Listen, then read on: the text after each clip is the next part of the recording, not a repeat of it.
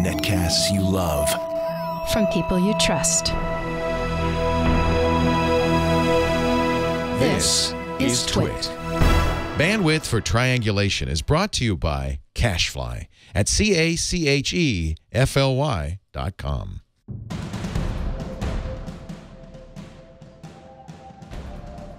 This is Triangulation, episode 273, recorded Monday, November 14th, 2016.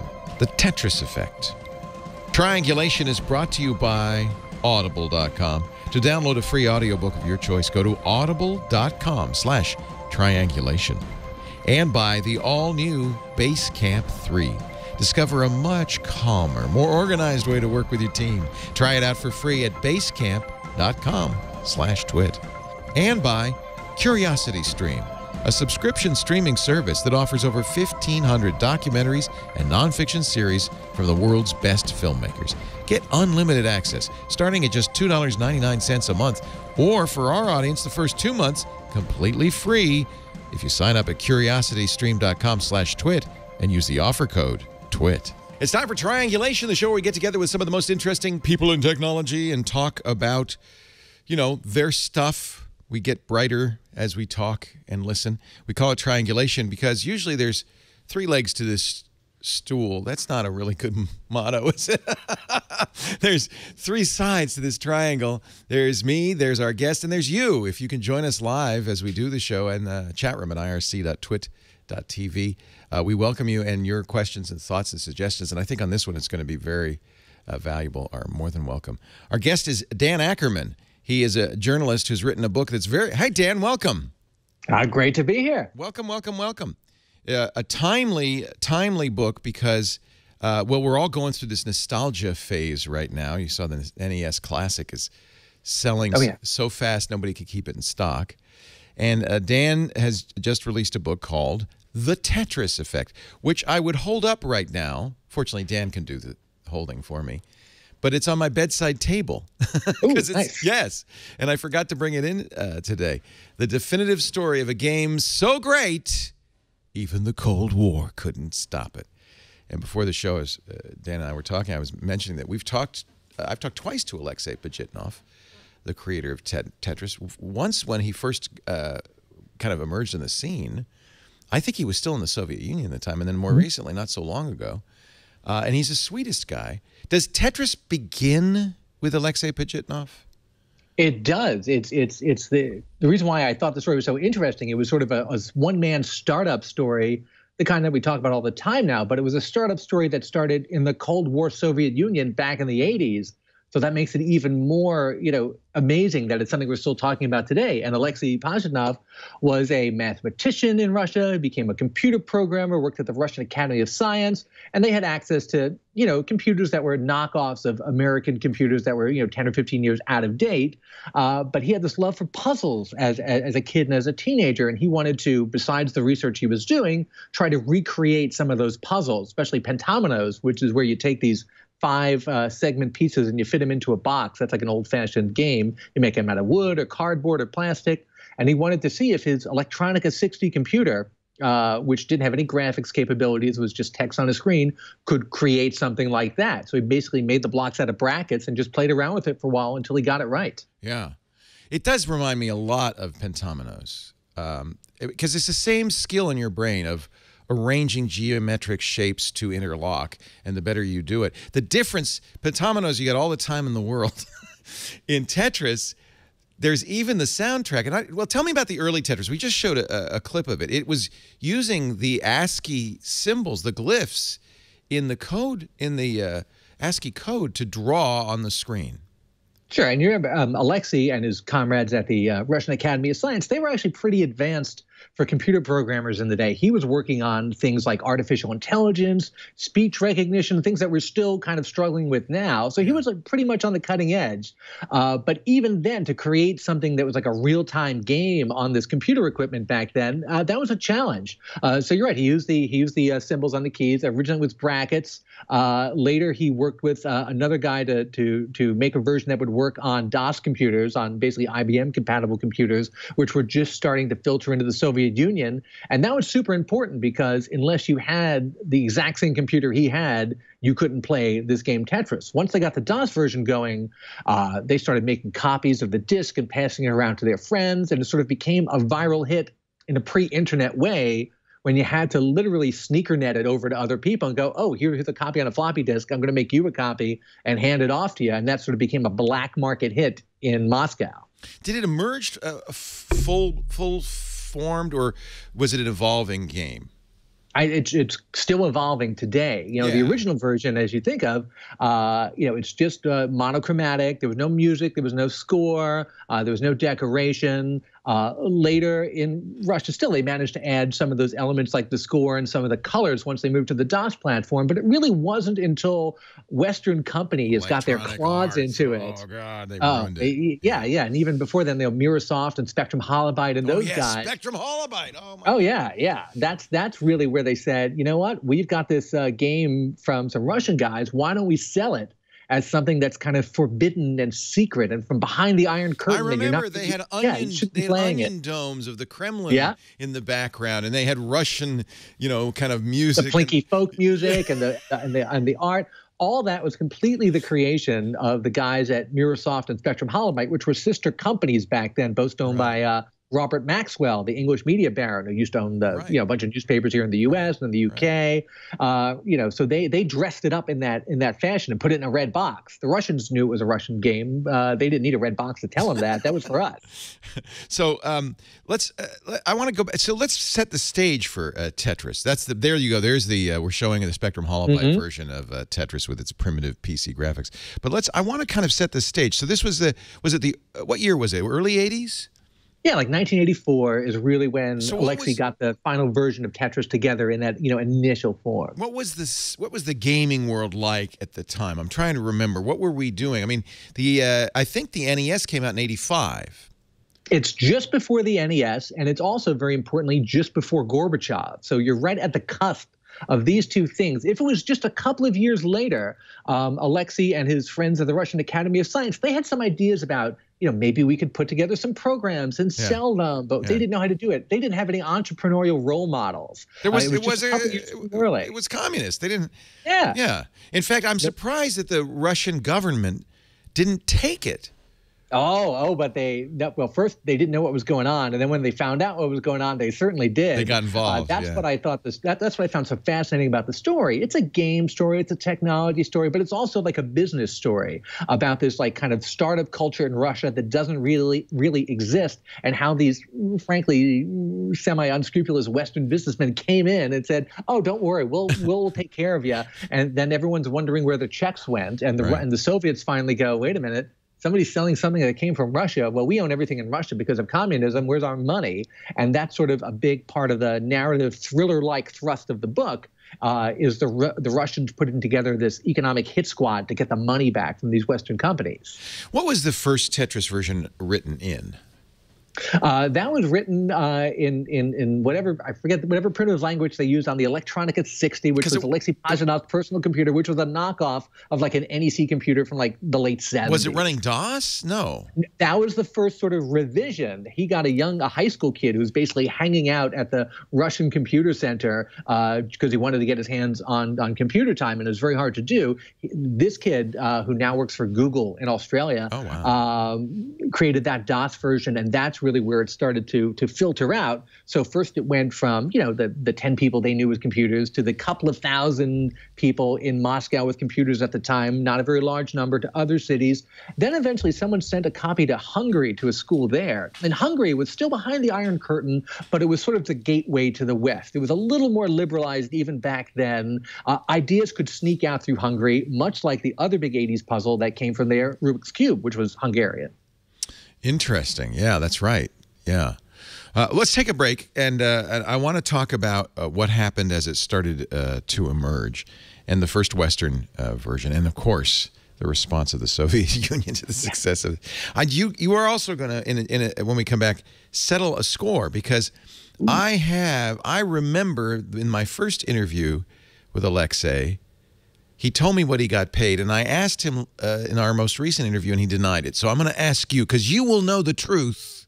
Ooh, I might. How much he made on uh, Tetris. But first, I want to talk about a place you can listen to this book, audible.com. Where, of course, our great sponsor. We've been very uh, fond of Audible on this network because they, they kind of really got us started and continue to support the network. And I've been an Audible member long before I started when uh, in uh, the year 2000. I've been a member of Aud at Audible since uh, for 16 years, which means I have hundreds of books. And that's one thing I like about Audible.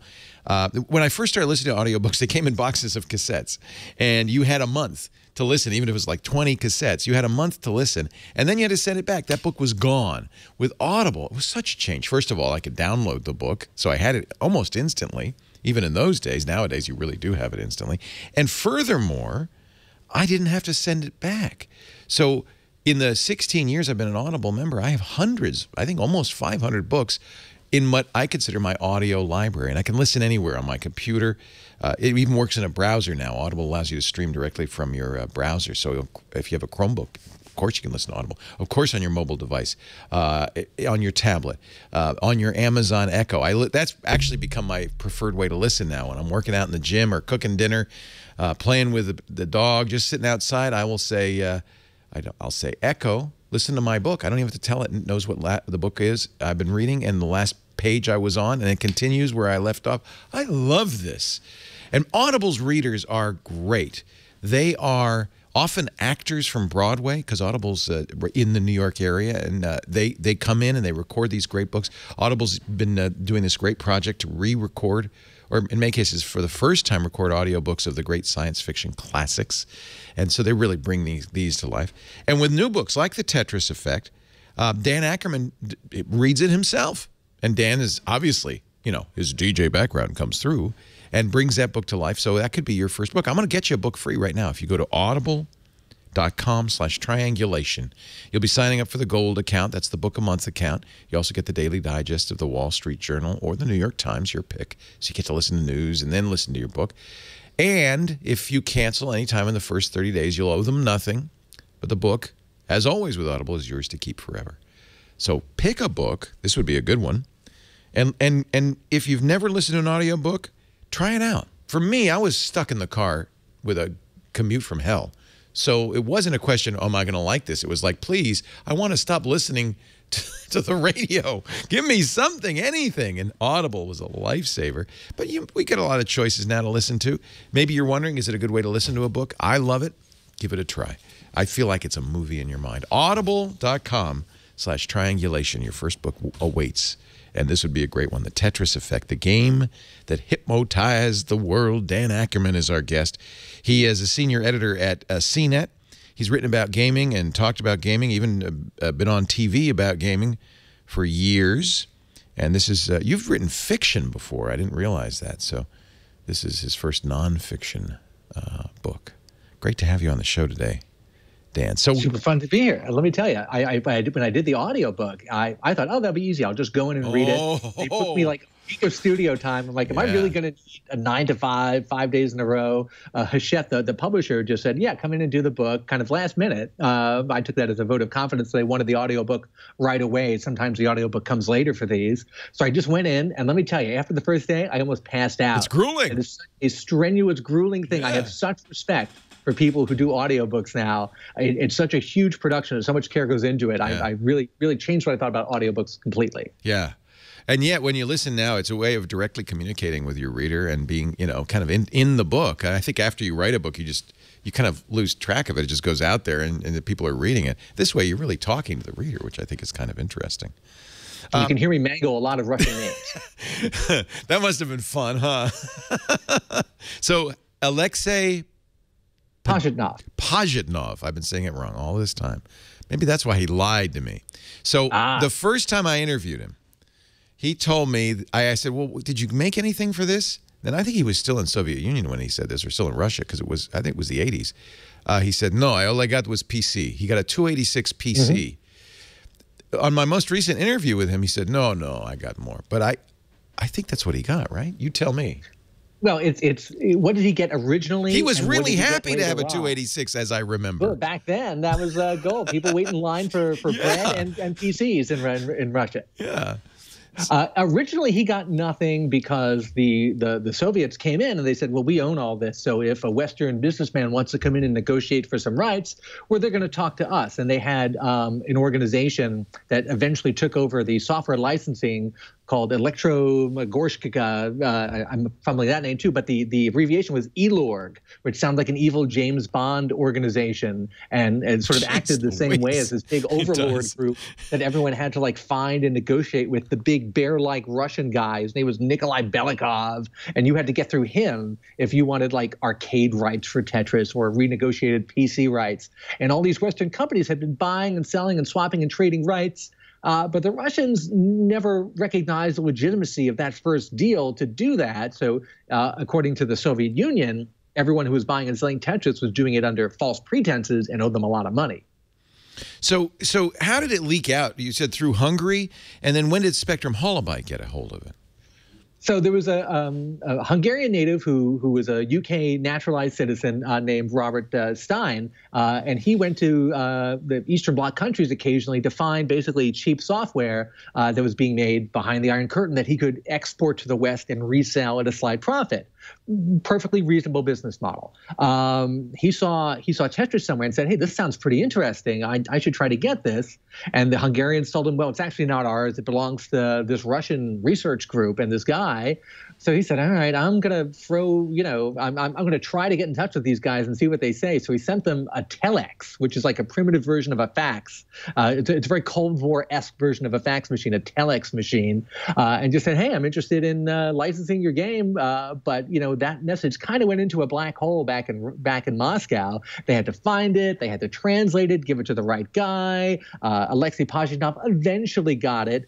Then he had to get tons of permissions to get a reply translated and then resent. The whole thing took months. And he said, "Yeah, I'm interested in in in, in this deal." Uh, to the Russians, that was just saying, "Thanks for the interest, and maybe we'll negotiate with you." To Robert Stein, that meant you're you're agreeing to the deal kind of as I outlined, and that's it. I'm your licensor now, and I'm going to go out and sell this game. So there was a little bit of a Cold War miscommunication there, depending on who you want to believe. Uh, and he, of course, turned around and sold it to Mirrorsoft and Spectrum Holobyte, who then relicensed it to you know Sega and Atari and all these other companies. So to be fair to them, Spectrum Holobyte and Mirrorsoft, they thought they were buying the rights legitimately. Yeah, they all had the idea that this came from this in-between guy, this go-between who worked uh, with with Eastern Bloc company, companies, you know, frequently. So we're not going to ask any questions. He's telling us he's got the rights. We're just going to believe him. Maybe we're not going to dig too deeply into it, but they felt at least reasonably confident legally that they were in in the right. Although that turned out to not be quite as cut and dried as they thought. How much money did Tetris end up making uh, Spectrum Holobyte and Mirrorsoft in the early days, and how much of that got to so the Soviet Union, and how much of that got to Alexei Pajitnov? You know, at the beginning, it was a cult hit. Uh, people would see it at CES back in the uh, 80s. I know, I remember. Uh, yeah, or Comdex. it was in, the, in, those days. Yeah. Yes, yes.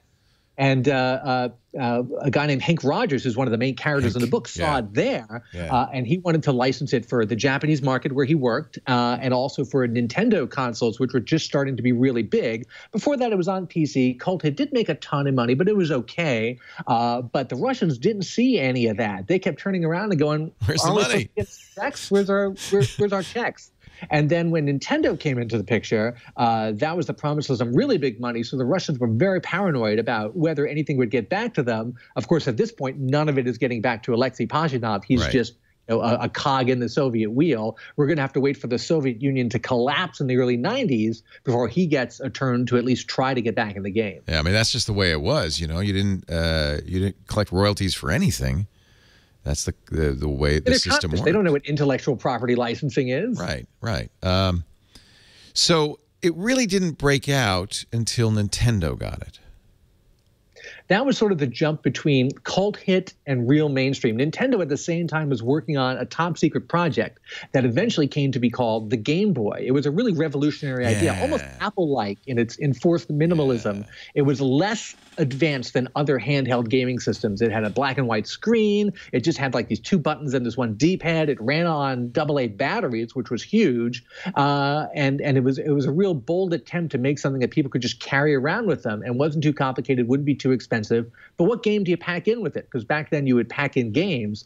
Uh, Nintendo was like, oh, we'll put Mario in there or Zelda or Donkey Kong. And Henk Rogers, who was friends with Minoru Arakawa, who was the guy who founded Nintendo of America and is a very pivotal key person in video game history. Um, Henk Rogers went to him and said, listen, if you put Mario in, only boys who are already Nintendo fans are going to buy this device. If you want everyone to buy this device, put in something different. How about this Tetris game I'm, I'm getting the Japanese licensing rights for? Maybe we could do that. Uh, and it's a little bit of a Rashomon style story where everyone claims that was their idea. That's Henk Rogers' version of that story. I Other think I trust Hank. I think Hank was Hank was yeah. kind of brilliant uh, fella. Oh, my, so so brilliant, and also yeah. such an interesting guy. I, I describe him as being a bit of a software anthropologist in that he was able to go across different cultures and find software and find games that he thought would work in you know this country or that country and import it and and and and regionalize it for Japan or wherever he was. Uh, and he had a really good feel for that, and that's how. Uh, he became a big software, you know, magnate in Japan, uh, despite not even speaking Japanese. Tetris, uh, and he was, you know, he had a great insight, which is not immediately obvious. If you watch somebody playing Tetris, it doesn't, you know, it's not graphically that interesting. It doesn't, the how compelling it is doesn't come out unless you actually play it, and probably play it for a little bit till you, then you get hooked, of course. Uh, and he had a great insight, which is that it was the small mobile version of Tetris that was going to be the killer not the desk. Nobody wants to play Tetris. I mean, maybe we do now, but play Tetris at a desktop computer or even a laptop. It's mobile that makes so much sense. Right around this time, I mean, you could buy mobile poker games. You'd see people in the airport on a game playing these, or little football games. These were all kind of purpose-built, dedicated little game things. So the Game Boy really hit at a perfect time for this. It did, and this was the perfect combination of like kind of the killer app concept, the perfect software with just the right hardware. Because Tetris was simple enough, you could put it on this little monochromatic screen with just two buttons to control it, and it actually worked. It actually made sense. Uh, and if it were not for that combination, uh, we may not be talking. You know, we probably wouldn't be talking about Tetris in the same way now. This really kicked it off, and then right after that, they put it on the Nintendo Entertainment System uh, in the U.S. and the Famicom in Japan, which is what it was called there, uh, and that became an even bigger hit uh, in, in short term and sold you know tens and tens of millions of copies.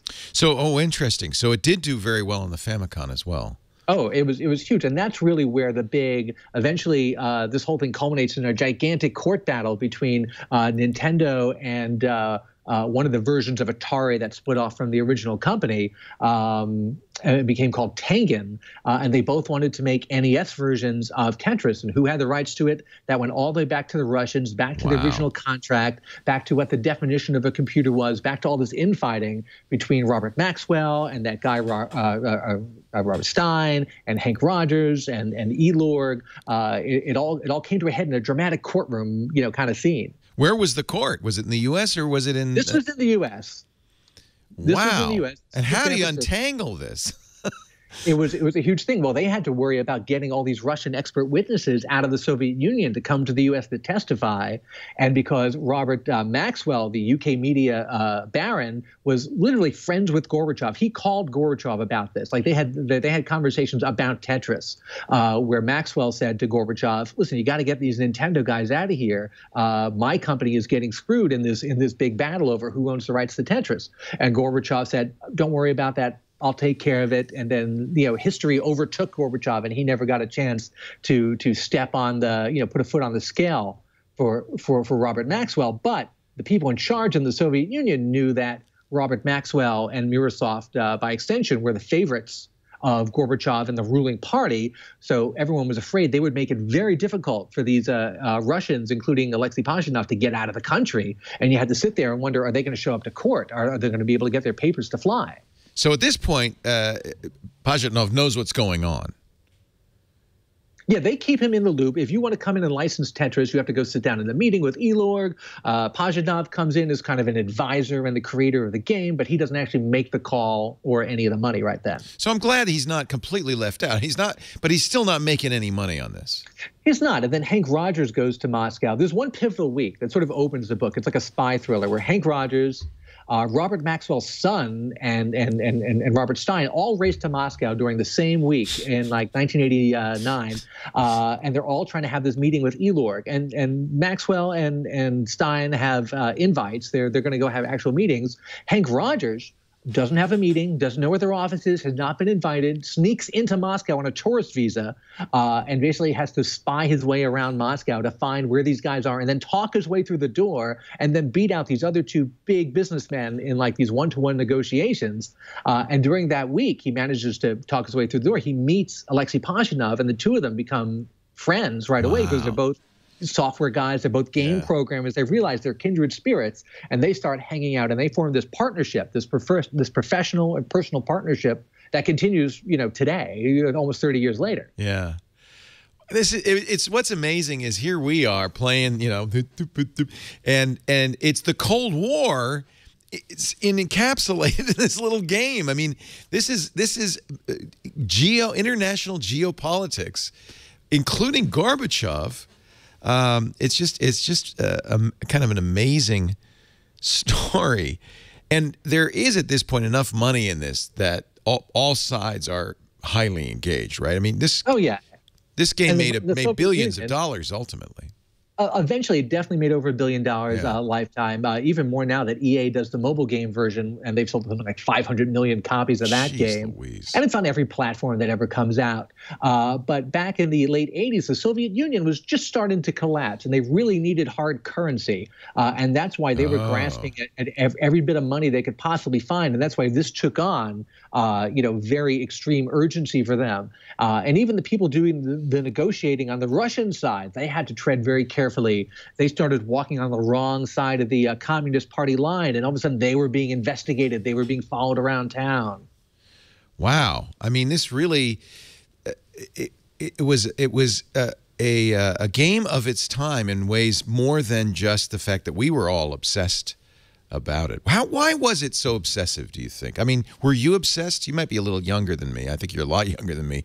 What did I mean, I know I remember playing it to the point where you'd actually get sore thumbs and you, you get blisters. Oh, yeah. I mean, yeah. it's it's a game. Well, first of all, it's so simple. Uh, it, it, activates certain pathways in the brain because it has no narrative to it. Right. Uh, it's a purely visual spatial problem. And scientists over the years have independently come to use it for brain research because it has yeah. certain effects on the cognitive process that you can then measure. They would take people and inject them with uh, basically a colored solution and put them in a PET scan machine and, and scan them uh, to see, see little blocks dropping. yes, almost. Uh, I used to dream about it. I'm sure a lot of people used to dream about it. I would I would wake up from a dream and have been playing Tetris oh, yeah. in my dream. And that is the Tetris effect. It's a recognized medical condition. Uh, and in the course of the book, there's about three breakout chapters I do talking to different scientists about their work with Tetris, whether it's brain efficiency, whether it's the Tetris effect, uh, whether it's uh, using Tetris to block the effects of post traumatic stress disorder, oh. which it shockingly does in a very inexpensive, easy to do way. And research into that, you know, continues today. Because it's somehow soothing? Uh, because it the way you play it, the fact that the visual spatial part of it uh, operates on the same highways in the brain as you use to write short-term memory to long-term memory. So when you have a traumatic experience and then you play Tetris shortly after it, uh, it, interrupts the long-term memory writing. So you can still recall events, but you don't have those flashbacks as often, those debilitating flashbacks. And that's what PTSD is. It just flashes in front of your eyes like you're there again. It's not recalling the event that's the problem. It's the flashbacks. And something about Tetris uh, occupies basically the same pathways in the brain and short circuits that process from happening. But it has to happen close to the event. they've managed to originally yes they've managed to stretch out the time frame you know more now in subsequent studies I love it that it, that one of its points of appeal is that it is at, there is no narrative. You, you nailed it. There's no narrative. They tried to put some narrative in it and try to jazz it up, but fundamentally, the game itself, it's very simple, and it is nonverbal. It's it's a part of your brain that you don't work. It's the often it's a spatial geometric thing. Do I was wondering if uh, this was the first video game that women really liked. It was definitely one of the first ones that crossed those boundaries. Yeah. Uh, I, I, said a couple of points that it, it's the game for moms and mathematicians. Basically, everyone who would never call themselves a gamer played this game back in the 80s and 90s. You would say, "Oh, did you play video games?" No, of course not. You play Tetris? Well, that's different. That's a puzzle. You know, my mother played Tetris, right. but you would it's never not a video game. game. It's one of the few video games where you're not shooting something that's you know that's true too. And it, and, it, and it's one of the few that you know translates just so perfectly across cultural and international boundaries because you don't need to understand anything right. about a particular language or words or, or, or any kind of you know cultural cues aside from the fake Russian ones the you know the British and the American guys put into it to make you go oh this, this looks kind of like Cold War so I'm totally going to play this. Uh, but that's what Henk Rogers did so well. He realized that this would work in any culture and, and, and it has. It became a worldwide phenomenon because of that. I want to find the Tetris music because I know I actually have PTSD from Tetris, and I know when I hear it, it's all going to come back. Yes, Korobeiniki, I think it's called. It's a traditional Russian folk tune that they made sort of a, a, an early chip tune version of, uh, and and you still when you hear that, you just go, oh yeah, that's the that's the music right Karsten, there. do you have my audio? Hold on a second, because I have it. This is the Game Boy uh, Tetris theme. Was that mm -hmm. the, mm-hmm. was that is that when it was first? This is 1989, right? Yes.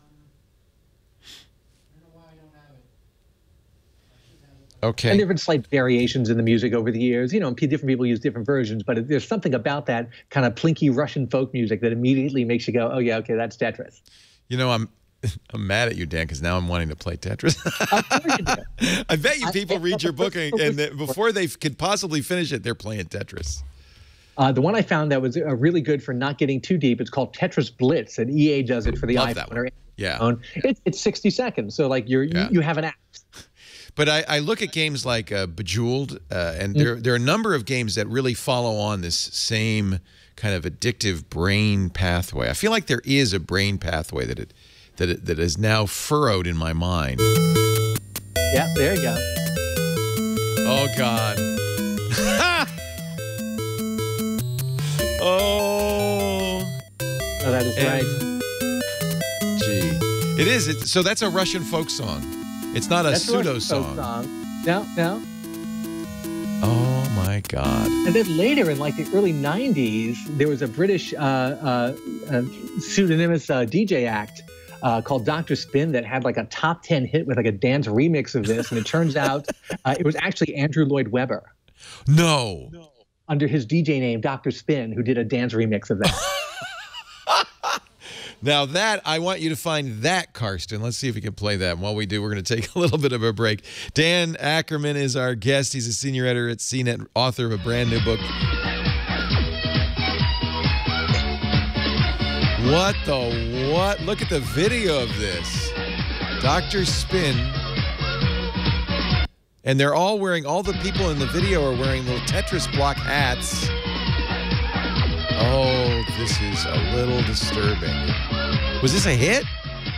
Yeah, this was a this was a UK chart hit. and it's Andrew Lloyd Webber. That's right. I know why he didn't put his name on it. the book is The Tetris Effect, the game that hypnotized the world. It's available now on the bookstore shelves, of course, at Amazon.com and at Audible.com. If you want to listen to Dan read his own book.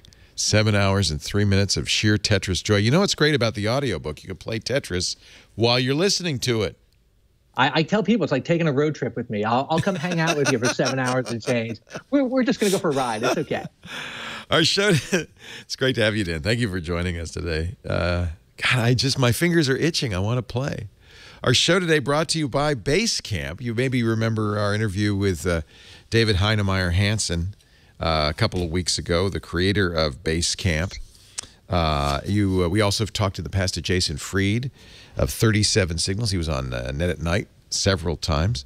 37 Signals has become Basecamp. That was their one of their most popular products, still is. And they said, why we forget this 37 Signals? It confuses people. We'll call ourselves Basecamp.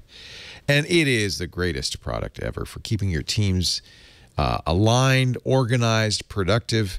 And the new Basecamp 3 makes it even better than ever. You know, I'm kind of mad at David. I think when we interviewed him, he was about to release Basecamp 3, but he didn't mention it. He was he was kind of quiet about the whole thing. Many of you uh, listen to know what technologies are going to change how you get your job done. And I got to tell you, Basecamp 3 is the one that you absolutely need. I love the philosophy Jason and David uh, and the whole team at Basecamp bring to this. They feel like you work better. We all work better when we're calmer, more focused. The problem with work these days is, is there's so many distractions. that could pull you out of your work. Uh, we don't get the downtime we need. Basecamp is about getting everything done without getting you burned out. And it's got all the tools, of course, you need. Message boards, file storage, to-dos, chats, schedules, automatic check-ins. It's all in there. Uh, what happens, you know, is as projects get bigger, teams get bigger, companies get bigger, something that you could easily manage with just kind of a high across the desk is now way too difficult to keep track of, and that causes stress for everybody. Basecamp is the stress fixer because everybody knows what's going on, where everybody stands, who's doing what. You can set up teams to share ideas, to ask questions, collaborate on projects. You can easily bring clients in as well and give them an area they can see and then an area they can't see. Uh, the new home screen is very visual. You see the cards interface. I really like that. Cards show projects, teams. Uh, the company HQ is kind of your your your focus uh, on your. It's it's kind of like an intranet. You can brand your account, of course, with your logo. And the best part about Basecamp, the thing I really like, is it's very affordable, and you don't pay per seat licenses. One of the problems with a lot of the software out there uh, is that you have to make this decision. Well, I want to add somebody to the team and add another five dollars a month or whatever. Not with Basecamp. There's no per user fee. You add as many people as you need inside and outside of the company without worrying about the license. It's very affordable and very straightforward. We're actually using it with our live events production team because they have this is there's a there's a stressful job. They you know, they're thinking right now about CES. They've got to plan it. They've got a lot of threads, you know, not everything from booking hotels to getting camera crews to talking to booths. There's a lot going on. Colleen, who's our executive producer there says she she loves it. It's very intuitive, provides great visual overview of where everything stands. It's easy to assign tasks to team members, track productivity through reports and daily updates. Kara, who will be going down as one of our uh, crew members, appreciates the email reminders. She says it's easier for me to stay on track. And here's something I like, and I, I bet Kara likes this too. I bet every employee likes this. You set your work schedule, and you can set it so you don't get notifications when you're not working. Yep, it's it's all about stress-free flow, producing without making yourself nuts. Basecamp, it'll put you back in control of your projects and make your workplace a calmer, more productive, happier workplace. Don't we all need that? You can get it a free right now. Free trial awaits you at uh, basecamp.com slash twit. Basecamp.com slash twit. I've been, you know, a huge fan of these guys and their software for years. I've used Basecamp for years, and I got to say the new Basecamp 3 is remarkable. Basecamp.com slash twit. Dan Ackerman is our guest. He's a senior editor at uh, CNET. You, you you cover more than games. You do like laptop reviews and stuff like that, and too. If you come to CNET this week, you can read my review of the new uh, MacBook what Pro do you with think? the touch bar. Uh, You know, it's it's the MacBook Pro, so it remains sort of the default go-to high-end laptop for creative people. The Touch Bar, uh, it's kind of cool. I wouldn't go out of my way for it. It basically gives you a bunch of uh, shortcuts that'll save you a couple of keystrokes. And you know what? Long term, that's actually kind of important. Here, look, I've got it right here. Oh, I'm so jealous. Look at that. So how long have you used it? Uh, I'm going to say probably about two weeks. Okay, that's Uh, enough. and I think what you, yeah, what you end up with is you discover five or six little like shortcuts that work for you. Like instead of hitting, you know, Command L to uh, go to the address bar, you just tap this little button on the on the touch bar, and that it's one click versus two. But I started doing it right away, and I was like, all right, I'm just doing this now. I, uh, you know, really wanted to withhold judgment. I was a little skeptical, but I want to withhold judgment until I've used it for enough time to know whether it's a gimmick or it's actually useful.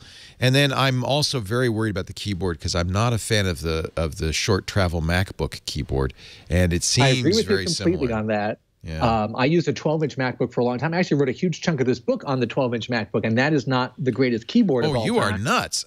I because it's just so portable, and I would take it with me. I- you know, I use a lot of machines, but I use that a lot. So Uh, you but got used right, to That's it. not. I, I did, but I never loved it. The version here, I will say, is is is enough of an improvement that I would give it another shot.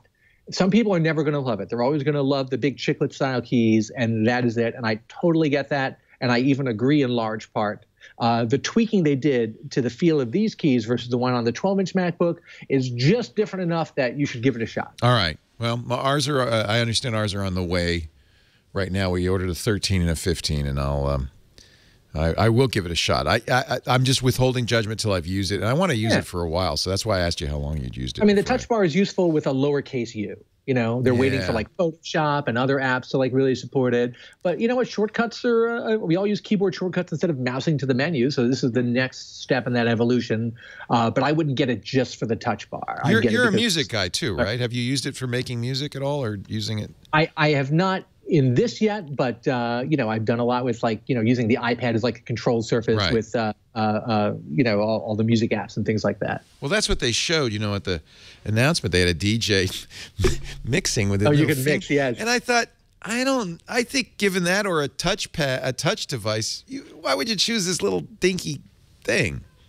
Yeah, yeah. The one thing I found it cool for was when you're in photos, you can actually rotate your photo just yeah, by yeah. Mousing over that, and that you know that works fine uh, and flipping through filters works fine. And the transport controls for media, when you're listening to a song or watching a movie or video, you could just scrub back and forth, and, and it's a lot it's a lot easier to do that than using the mouse cursor on the little scrubber bar in the browser right. window. Okay. You can find Dan's full review at cnet.com uh, for this week. The brand, it just, I guess you've had it for a while. The embargo was lifted this week. We're seeing a lot of other reviews. That's right. That, and that I just got, I got the notification this morning that they charged my credit card. So I think that means it's on its way. So we'll have our review, uh, at least a first look uh, this weekend. Give me a couple of weeks to really get a point of view on it. But I'm encouraged. I was, I was really thinking, I'm gonna, if I hate this keyboard, I'm gonna be very sad. I think that's why they still sell one of the old models. Right. You can right. still pick up like the old 12 or the old 15 that has the HDMI port and stuff and the regular USB. Back to the Tetris Effect, Dan Ackerman's new book, The Tetris Effect, the game that hypnotized the world. Uh, I love it that you put it on the shelf there on your website next to Future Shock. Yes, Alvin, Alvin Toffler's yes. classic. What are the other ones? Fritz Leiber. Uh, that's uh, The Wanderer. The um, Wanderer. Uh, is yes. it, this is your bookshelf, clearly. This is my bookshelf. And right below it, I can see there is City Primeval by um, um, um, Elmore Leonard. It, oh, my. Now, did you choose those on purpose or is it just random? That's just the kind of books I have. Okay. Because I do feel like Future Shock is appropriate. That is that that that is good, and and and Alvin Toffler just died a couple months I ago. I think. I know, and uh, and really, I mean, that book was in this came out in the 70s mm -hmm, and mm -hmm. uh, was all about you know, the future. And I think in many respects, he, he got it right. Tetris, for a lot of us, was uh, kind of a harbinger of our future, addicted to video games, uh, spending a lot of time going like this. And it prepared us for a day when the smartphone was the number one screen in our lives, especially when you, when you come to the Game Boy. I mean, it really, uh, I can, it preconditioned us for what was ahead. We've been training for this for, for decades, really. What, what is the iPhone now but an evolution of that hand? That was the first handheld screen most people had, yeah, you know? Yeah. Is Tetris still played? I mean, are we still uh, Tetris uh, addicted? Oh yeah, it's it's huge. It's big on. Uh, there's a Facebook version that that's really good. The EA version uh, across mobile devices sells tons and tons and tons of copies. Uh, you can get all sorts of versions for the Xbox and the PlayStation. And the newest thing that I find super interesting is there's not an official version. There's a lot of knockoffs right now for virtual reality. And you can see that fits really well in Whoa. with VR. So on your Vive and on your uh, Oculus, you can get a ton of games that are Tetris-like.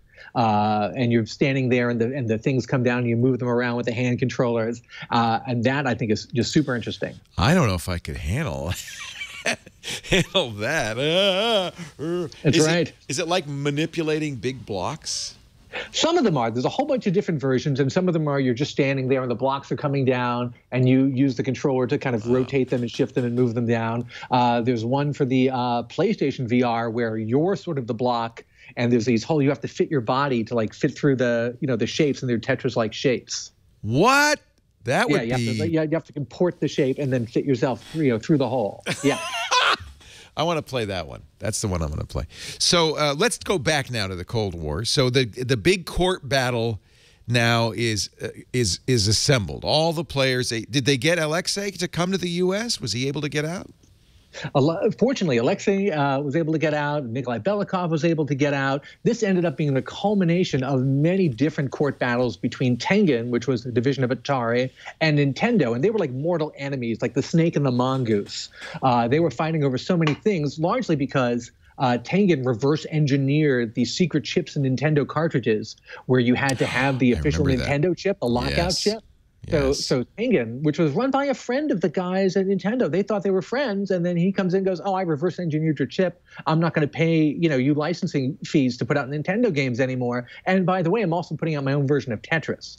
Uh, so interlocking court cases, they eventually end up uh, uh, in court. And the big argument is is that original uh, deal that that guy Robert Stein signed with the Russians way back when, and all the other deals sprung from it, is that is that legitimate? And what does it cover? Uh, the sneaky part is the Russians actually they seem pretty clueless during this entire thing. They don't understand technology, they don't understand business, they don't understand IP licensing. They had a vlord, they paid him in cash because he didn't have a you know a bank account. like that, that, that's how old school these guys are. You know it's what? Like a briefcase got, full of cash. Yeah, yeah. they I, will tell you, they outsmarted everybody. Wow. They, they, they, they snuck in a contract revision during one of these Moscow trips with this guy Robert Stein uh, that backdated the definition of what a computer is uh, in the contract. Uh, to to define it as a computer as being something with a, a, monitor and a base system and an operating system and a keyboard, like a very specific uh, uh, definition. So when Tengen, the, basically the the inheritor of this contract, went to court and they said, well this covers you know anything. Consoles are like computers. In in japan they call it the family computer the famicom. So Famicom. our argument is good right. for this. right. And the russians said no no we only meant uh, real computers. The other deal were given to the guys who then licensed it to henk rogers and nintendo uh, and because they snuck this poison pill uh, uh, contract revision in the judge said yeah you know that that's what a computer is and a famicom even though they call it a computer. There's no keyboard. There's no real disk operate disk-based operating system. There's no separate monitor. Uh, they they basically Nintendo Nintendo won and. Uh, Tengen had to take their warehouse of like hundreds of thousands of Tetris cartridges wow. that were already selling phenomenally and lock them up, and no one knows what happened to them. They just disappeared into into the mists of time, like all those ET games that vanished. Well, they would have lost in the long run because, of course, their uh, their counterfeit CIC chip ended up losing in court too. Yes, yeah, that was part of that long battle between those two companies. This was just one. This was a big skirmish though because they lost millions and millions of dollars in inventory uh, with right. those Tetris games that they had banked on. They took out full page newspaper ads. They had a launch party in New York at the Russian Tea Room. Like they really, this was going to be the big game that broke Tengen, and they had to take it off the market after two months, and they never, Yikes. they never recovered. Yeah. Yeah. Wow. And the ironic part it was the better version. It was better. Oh, really? and everyone You've says played it. It's better, and you can get emulators. You can play it. Uh, people sell them on eBay for like a hundred bucks. Okay, so the guy you who can get programmed it. that was okay. a guy named Ed Logg, who famously programmed like Asteroids and a bunch of other uh, early '80s games. And he was just a genius, and he made this great version of Nintendo Tetris. But the version that Nintendo put out, uh, based on Henk Rogers' version, frankly not as good. now I don't read the book very very quickly. The read anecdote the book yes, where please. Alexei Pajitnov g- uh, plays Henk Rogers' version of Tetris. Henk Rogers takes him to his hotel room in Moscow. He brings out like a portable TV he brought with him from Japan because of the you know the signal issues and a, and a Famicom. He goes, "Here's my version of Tetris I made. I hope you love it." And Alexei Pajitnov plays it and he doesn't like it. He's like, "This just feels all wrong. I don't understand." Well, I guess they're making the game. That's good, but man, I would have done a better job. Wow, what was wrong with it? you know the timing i think was a little bit off and the fact that they translated it to the nintendo controller which is sort of very left hand oriented with the d-pad here and the buttons. Right. Uh, uh, and and and alexei built it to work with the arrow keys on the keyboard and like the space bar and it was a very right-handed thing uh, but just the just just the, the the level of acceleration just felt off. They didn't have the programming down to mimic sort of the gravitational pull of the pieces. You wouldn't think it'd be that hard. It probably isn't that hard, but it takes a sensitivity to what makes that game exciting and good that may not it's be all immediately about the feel, obvious. Yeah. yeah, yeah, it is. It's all about the feel. Come to think of it, the gravity and the and the and the movement. And and the thing is, it's when you play it, it becomes so in, in internalized that if something's even just millisecond off, that's enough. It's like a stair step that's an inch too high. It just it just doesn't feel right. You just stumble over it, and that's Yeah. what a lot of the, the the versions of Tetris that didn't break through had Right. that problem. A lot of the knockoff versions. That's why that Tengen one uh, was considered like one of the greatest versions ever. Now I'm going to have to try it. And those cartridges somehow have survived because people are selling them? People people people hoarded them people went to blockbuster and and rented them and then said oh i lost it i don't know God, I don't know what happened. yeah Sadly, it is not on the uh, NES Classic. They did not put. It on. I know i was very there. disappointed about that I wonder why yeah. not. there's a lot of licensing with it. Uh, Yeah. The Tetris company. Well, the nice the nice coded to the story is, and you very rarely hear this about creator stories, is that after the Cold War, after the Soviet Union collapsed, Henk Rogers helped Alexei Pajitnov reassert uh, at least part of the control over the Tetris rights. And then Alexei moved to the U.S. and the two of them formed a partnership, and they They're now are together. partners in in the Tetris company all Yeah. these years later. That's Yeah. run out of Hawaii, where Henk lives. Isn't that great? That is a nice story. It really is nice because Yeah. they're because they're nice guys and everybody loves these guys and Yeah. it's great that you know they they came out on top. They beat the Soviet Union and all these big Western companies. So um, uh, eventually, the, what what was the right situation after this this big court battle? Did Spectrum Holobyte and um, Americast had the rights to PC versions only, Correct. and Nintendo had the right to the console versions only. Is that right? Uh, Henk Rogers got the rights to the handheld version, which he then flipped to Nintendo, which was the plan all along. Okay. Nintendo sent them to Russia to do that, and then the Russians said, "Do you want to? Because we because we say this old contract is only good for PCs. Do, do your friends at Nintendo want to p- make a play for all the console rights?" And they said, "Yeah." So that started this whole big you know series of negotiations, and I think they gave the Russians like five million dollars or something like that. That's all? rights. Well, this is like the early, you know, that, that that's almost like the down payment. That's like the advance. and they and with roy- so they had a royalty structure. right, yeah. Yeah. Because I mean, there was a movie there. it- This thing ended up in the Museum of Modern Art. Is I mean, yeah, yeah. how many copies of, of, of Tetris were sold? It's got to be Oh, hundreds of millions. yeah, hundreds of millions. Yeah. Like EA alone has done 500 million downloads on the on the iPhone version. How did EA get the rights to it? Uh, the Tetris company is very good at licensing that game out to Okay. partners they think are going to do a good job with it. And EA has been doing mobile games for a long time. They've been very successful, uh, especially in the phone game space. And uh, you know they've done a good job with this. You could play it on your smartwatch now. That's, That's right crazy. That's. That's crazy. Tetris will never die. I don't think so. It's one of the few games that it really holds up all these years later because it doesn't feel all that retro. All you have to do is dress up the graphics that tiny Yeah. bit, and it feels as modern as Candy Crush or Bejeweled or anything else Yeah. like that. Yeah. Uh, it, it's got this timeless quality because it's not dependent on the technology. Whereas you go back and play the original Legend of Zelda, or Mario, or Pac-Man, th- they're games of their time. They're great games, classic games, but they are of their era. Where Tetris is timeless, partially because it's based on that pentomino puzzle that goes back, you know, 100 years before that. How much money did Alexei end up making on it? Did he did he do okay? Originally, originally nothing, but once he got his share of the rights back and he partnered with Henk and they formed the Tetris company, uh, he's done very well. And Henk has done very well, and they're all very happy with how things have gone. Good. And he got out of the Soviet Union. Uh, it was if one after it fell, it was not the Soviet Union. He was able to leave. Is that right? He got out in the early 90s uh, with Henk's Oh. help again, and he actually came to the U.S. And for many years, he worked for the only other organization in the world besides the Soviet Union that you would call the evil empire, and that is Microsoft. what did he do at Microsoft? He made a game called Hexic that was Ah. on like every original like Xbox 360, and he worked on a whole bunch of other stuff with them. But it just shows you, uh, and it, we see it so many times in so many uh, spheres. You know, they sometimes say, you, you know, everybody has one good book in them. There, it's very hard when you make a game that's as good as Tetris to do a follow up, and uh, and really none of the games Alexei did later had uh, had any of the where near the clout that Tetris did. It, it, it might part of the problem might have been that some of the other games were like Hatris, where you're stacking hats, and Facetris, where you're stacking faces. Okay. a little derivative. Gotta go back to the well.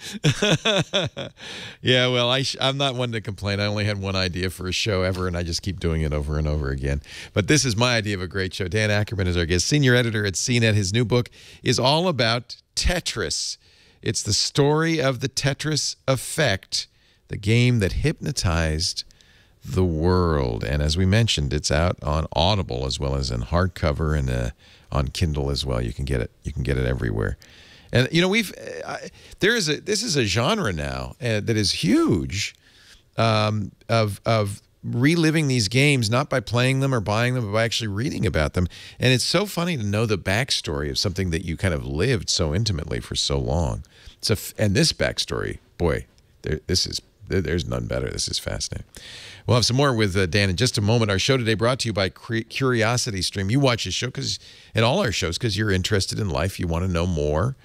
Uh, and Curiosity Stream is pretty much made for us. It's the world's first ad-free nonfiction streaming service. Do you know it was put together by John Hendricks, who did the, founded the Discovery Channel. So he understands kind of what's going on out there. He's put together a library, and it's growing all the time. Currently, 1,500 titles, 600 hours of content. And boy, I love this because I just got a 4K TV, 50 plus hours of 4K content. So if you got a new TV and you're looking for a way to see it in all its glory, you got to check out. And I got a great deal for you, Curiosity Stream. By the way, unlike a lot of these channels, it's available basically worldwide, 196 countries. Web app, of course, but also there's a Roku app, which means you can play it on that new 4K Roku. There's an Android app, iOS, Chromecast. I can play it on my uh, NVIDIA Shield and my Chromecast. Amazon Fire, Amazon Kindle, Apple TV. Uh, and it's a, it's a lot of stuff that you're interested in. Technology, space, history. Look at that. John, Jason Silva's Road to the Singularity, the Chaos Theory. Uh, Stephen Hawking's favorite place is one of my favorites. It's a brand new documentary, and it's exclusive too, in which Hawking is he's like flying this spaceship around the universe and stopping at like places he really likes. It's so cool. You gotta, it's you just gotta see this. Digits, brand new three-part series hosted by Derek Muller, creator of uh, the YouTube Science Channel. I know you've seen it, uh, Veritasium. I love it. He talks about online safety and security and has interviews with Edward Snowden and Vint Cerf. Uh, deep time history, an exclusive three-part documentary series telling the story of the universe's history.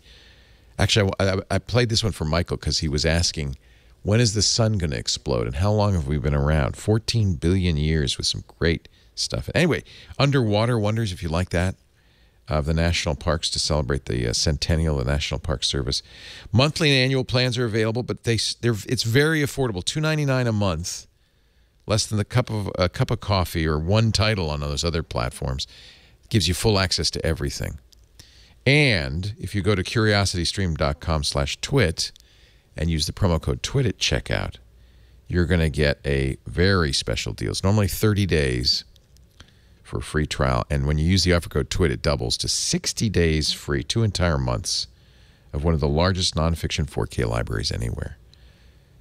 CuriosityStream.com slash TWIT. Please do try it. Uh, and use the offer code TWIT to sign up. They say there's no good 4K content. Oh, no, my friend, there is a lot. And it's all at CuriosityStream.com slash TWIT. Dan Ackerman is our guest from CNET. He's a senior editor there, covers laptops and uh, also, been covering gaming for a long time. You come to this honestly. You know, every time I talk about this stuff, people go, "You're not a gamer." I play games. I don't know what a gamer means. You know, I don't. I don't live in Call of Duty, but uh, but games like this, they call them casual games. I've been playing. Uh, I've been playing since before you were born, kid. And one of them is Tetris. Right. it's since 1984, 85. The Tetris Effect, the game that hypnotized the world and really was kind of a backstory to the fall of the Iron Curtain, Alexei Pajitnov's amazing story, and all of the people who were, you know, fighting for the rights. Actually, it was until I read your book, I thought, I really thought that it didn't go well for Alexei and that he kind of lost out and uh, and that, you know, it ended up being practically public domain. But I'm, I, I was completely wrong, and I understand that now. Um, this is this is a, kind of has a happy ending, doesn't it? It does, and that's so rare to see in these sort of creator-driven stories, especially ones that have such a tumultuous history. And that's sort of that's what drew me to this in the first place. It's a game story, and that's interesting, I guess. We've all played Tetris, uh, but when I looked at it, I realized it was a startup story, and we're obsessed Mm-hmm. about startups now and creators and their rights. And it was a Cold War sort of political business thriller story, and we're very interested in sort of you know the politics of business today. Uh, and it made it seem super relevant. Uh, and then when I got to meet, uh, basically when I got to talk to Henk and Alexei and a lot of these other characters, they were so interesting and had such great stories. And I think the key to good nonfiction is really good stories. So Yes. there's so many great anecdotes and and bits about uh, the Russian space program and spies and things like that. That uh, I, I just I just said I have to write this book now because it's you couldn't write this as a movie if you tried. Tetris is so ubiquitous. Works is reminding me in the chat room. You can actually play it in Emacs, Meta X Tetris, and you can play. it's built into Emacs. Probably not a licensed copy, but uh, it's even written in eLisp. So there, there you go. And I suppose that many of us just never uh, would would uh, you know get a new phone without installing Tetris first. Do you still play? I, you know, I have that Tetris Blitz version on my phone. I flip around in that a little bit. I feel like I've, I've had my fill of Tetris for a little while. Are you sick of it? Yeah, that Uh, sometimes happens too, right? You just go. Ah. But now the VR thing has got me super interested again. So I'm trying all these geospatial games with big blocks falling down and arranging them in virtual reality. And I feel like that's where the most interesting things in game development are happening right now. It's almost hard to play a 2D game and be interested in it. I'm very excited about the possibilities of this of this 360 world that we're building for ourselves. Right. So, uh, in your process, you found out a lot about Tetris that you you didn't know, and I was reading the book. I didn't know. Tell us a few of the things that surprised you as you discovered them. My my my favorite stories uh, in this book really involve Howard Lincoln, who was like the chief counsel for Nintendo uh, back then. Later became their chairman, and then later spent like 15 or 20 years as the president of the Seattle Mariners. I think he just retired this year. Uh, famously combative uh, uh, lawyer type, basically saved Nintendo's bacon more than a few times. Uh, so he's in Moscow doing some negotiating with the Russians over like you know how much are they going to give them? Is it for this or for that? And and the Russians smell money, and they're like, oh, where can we get some more money here? he's sitting in the room. They bring in a cosmonaut. And they go, this is Comrade so and so. He's been up in space. Uh, he would like to talk to you about the Russian space program. And the cosmonaut says, uh, we, we think maybe Nintendo could sponsor the space program. We'd spend the, send the Soyuz capsule up and would say Nintendo on the side. what do you think of that? Uh, and, and, and, and he's, he's like, I don't know if that's really a great idea. But then they drag him to the secret space training facility, uh, the secret city that they built, like Star City One. I forget exactly what it's called, on uh, you know miles outside of Moscow, where they train the astronauts on like the fake you know equipment that they built, and no one's allowed there. But they send they send Howard Lincoln there. Uh, with his son, and, and they go, "Oh yeah, come visit. Uh, this is top secret stuff. Want to take some pictures? Yeah, take pictures. It's no problem." Uh, all this to try to convince them to like, you know, get Nintendo to be a, a, a sponsor of the space program, which which never happened, but would have been awesome. Tetris, uh, the name. This was something I didn't know. Is related to tennis. Yeah, yeah. You break it down. The you know pentominoes is five pieces, so tetra is four. Four. Uh, and it also relates to uh, it uh, the Greek word for- tetrominoes plus? Yeah. Plus, like the Greek word for like uh, that translates into tennis. It's like a, it's, it, there's no Russian in it at all. It, it's it's purely like a Latin So Greek it doesn't origin. have tetra. it doesn't have a different name in Russia. That's the that's the name worldwide. That's the universal name, yeah. Yeah. And everyone and and Alexei Pajitnov's friend said, "Man, I don't get this name." He's like, "That's the name. I picked it, and that's what it's saying. It describes what it is." Actually, it boom, was a good name. That- Yeah, it was- stamp. It is a good name. it global it's hard to pick a name that's globally successful and i think that tetris is one of them i also didn't know it was written in in turbo pascal which kind of warmed my heart a little bit because that was a programming language that revolutionized uh, uh, computer programming in those days uh, made it accessible to a lot of people because it was cheap and that's what the Russians had to work with back then. They Right. had that, and they had punch card machines. Uh, and eventually, things got a little bit better. Yeah, the book but it was actually go ahead it was great going back and talking to some of these guys about these I 80s bet. computers that I used to own. Like Right. Henk Rogers and I nerded out over the uh, uh, Tandy TRS 80, the trash 80 that we both had Right. uh, with with the cassette drive. Yep. Uh, and you'd walk it- it- across it- the floor and touch it and bzz, it would zap it and, Oh. and the Oh, yeah. whole thing would crash and You'd sit there and wait like 12 to 15 minutes for like a program to load up because it was playing on an audio cassette. Uh, yeah, we yeah we had a great time going back over all this old computer history, which is a ton of fun. I love to that. show you how old I actually am, that was my first computer, a TRS 80 Okay. uh, color computer. That's pretty good. All right, I'll, I'll uh, Coco guy. I'll That's give, right, I'll Coco. give you that. The Tetris Effect, the game that hypnotized the world. Uh, from Hachette uh, Audio on uh, on Audible.com, Hachette uh, in, in hardcover.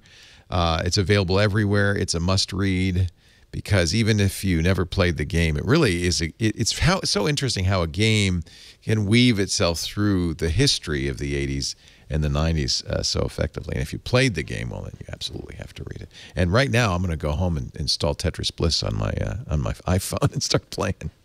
Great to talk to you, Dan. Thanks for uh, joining oh, so us. great to be here. Thank you so much for having me. My pleasure. Dan Ackerman, senior editor at CNET. Read his new review of the Apple MacBooks, MacBook Pros, and all his other uh, work on uh, CNET at CNET.com. Thanks, Dan. We Ah, do thanks so much. triangulation every Monday at 11 a.m. Pacific, 2 p.m. Eastern Time, 1800 UTC. If you want to tune in live, we appreciate it because your thoughts and the questions and uh, stuff you talk about in the chat room really helps me do a better job uh, on the show. But if you can't be here live during the show, don't worry. Every show we do is available on demand after the fact at uh, our website, in this case, twit.tv slash TRI.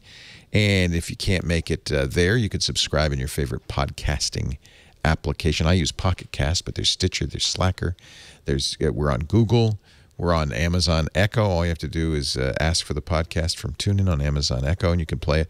Really, there's a lot of ways to get it. In fact, there's no excuse if you if you're not listening to Triangulation, you're missing out on some of the best conversations uh, on the uh, on the internet.